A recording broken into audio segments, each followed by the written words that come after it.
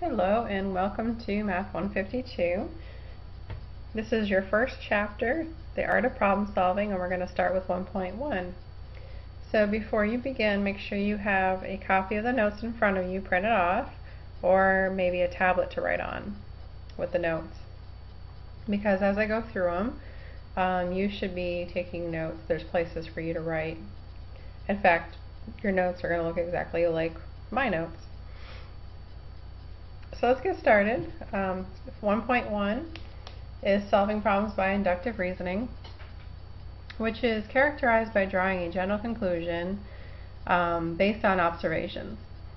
And the conjecture or conclusion may or may not be true. Like, for example, in the past, um, whenever you've done all your homework for a class, you've gotten an A. So you might uh, make the conclusion that as long as you do all your homework for class, you'll get an A. Now, of course, that conclusion may or may not be true, but that's an example of using inductive reasoning. Deductive reasoning um, is also something that you use every day, and it's characterized by applying general principles to specific examples. For example, with that one, you know the old rule, you know, make sure you look both ways before you cross the road. Um, and if you do that, you'll be safe. So this is something that you actually do in life, you know, or you should be anyway. when you cross the road, you look both ways, and generally you'll be safe, right? Um, so that's the deductive reasoning that we make the conclusion that as long as we look both ways before we cross, we'll be safe. Now again, it might not be true. There might be a vehicle that you don't see or somebody going too fast um, and you might not be safe. But it's just reasoning. It's not supposed to be, um, it doesn't necessarily have to be true or false. So let's determine what, what type of reasoning is used for each one of these examples. If you take your medicine, you feel a lot better. You take your medicine, therefore you feel a lot better. So you want to think about it as, you know, is this a um, something that you're basing on a series of examples or is it based on like a rule? And this one is more of a rule. It's you take your medicine and you'll feel better. So this is deductive.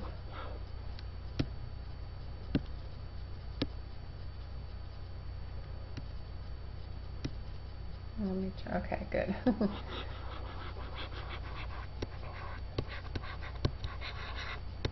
Oops. Now my writing with this uh, screen pen isn't always the best. Let me try this again.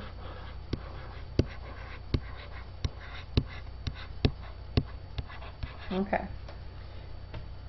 Marin's three first three children are boys. If she has another baby, it will be a boy. Now this is based on examples, so um, or observations. So we've observed that she's had three boys so we're going to make the conjecture that our next one will also be a boy. So this is in inductive.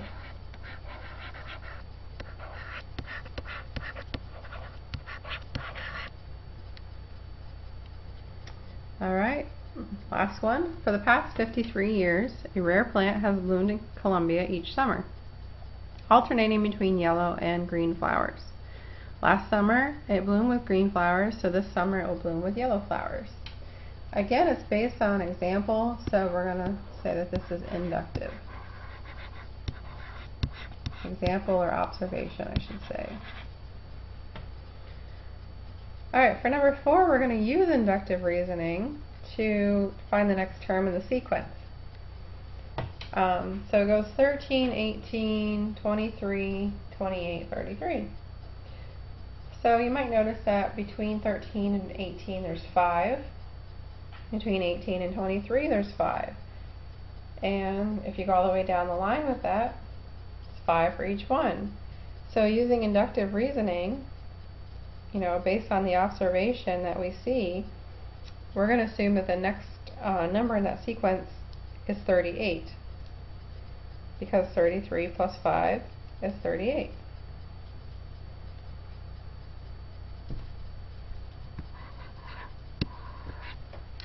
Next one is 32, 16, 8, 42, and 2.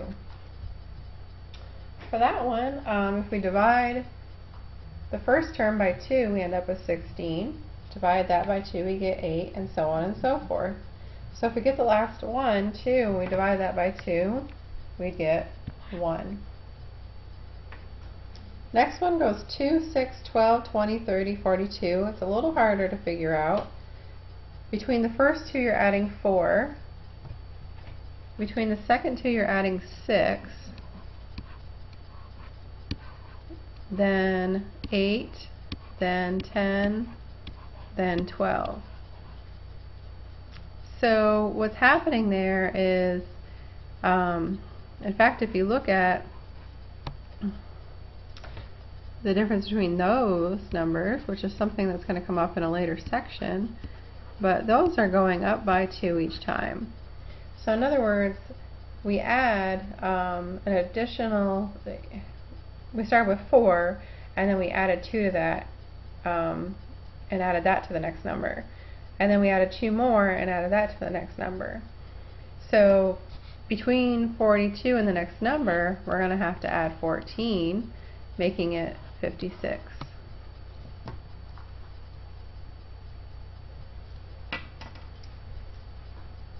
Okay, um, a list of equations is given. Use the list in inductive reasoning to predict the next equation, and then verify your conjecture. So with A, it looks like if I did 4, 3, 2, 1 times 9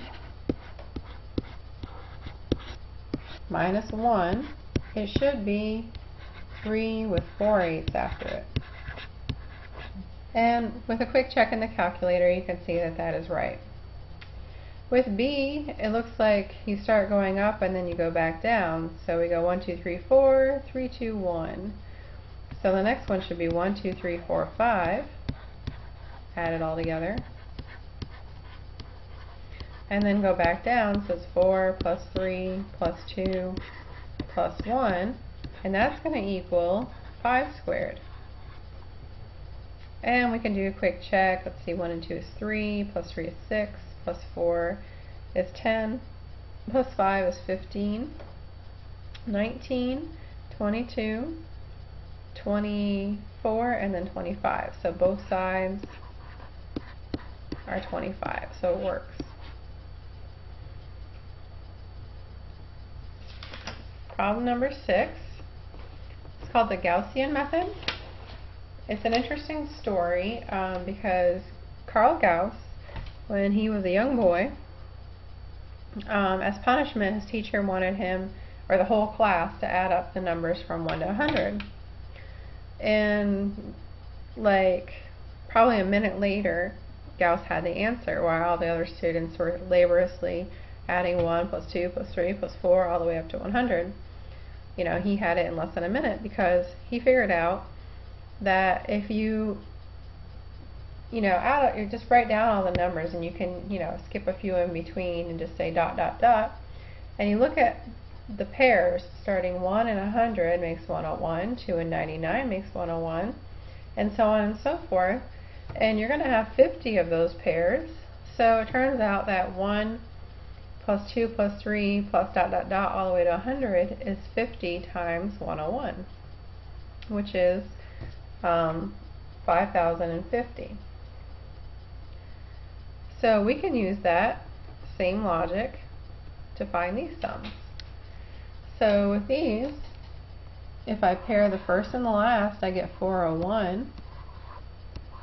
And the number of pairs I'm going to have is just the last number divided by 2. So I'm going to have 200 pairs.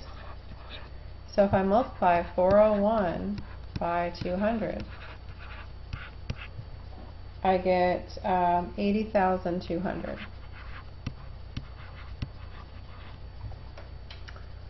Alright, with B, each pair is 2001. 2,000 divided by 2 is going to be 1,000. So it's 2001 times 1,000 equals 2 million uh, 1,000. Number 8 is very tricky. Um, so I think what I'm going to do with this one is give extra credit to anybody who can figure this one out. So I'm going to leave it open-ended and um, email me if you think you have the next row, if you figured out the pattern. And I'll probably make it a couple extra bonus points on the test. Alright, number nine is also something that I'm going to um, leave for you to do. It's a, a fun little trick you can play on somebody, especially an older person that doesn't want to tell you how old they are. Um, so they they write down their age and they hide it from you, but then you ask them a bunch of questions, and in the end you'll be able to figure out how old they are without actually knowing. So that's it for 1.1. The next thing to do is to work on the um, the practice um, exercises for 1.1.